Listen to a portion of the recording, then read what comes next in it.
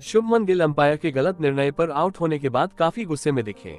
भारत बनाम Australia WTC final के चौथे दिन में ऑस्ट्रेलिया 274 रन बनाकर डिक्लेयर हो गई। टारगेट को चेस करने के लिए ओपनर जोड़ी शुभमन गिल और रोहित शर्मा खेलने आए। रोहित ने आते ही इनिंग्स की कमाल शुरुआत की, लेकिन गिल ने शॉट खेला जिस पर एज लगा और बॉल ग्रीन ने कैच कर ली जब कैच को रिव्यू किया गया तो बॉल फिंगर्स के बीच से ग्राउंड पर टच होती दिखी। फिर भी थर्ड अंपायर ने गिल को आउट दिया।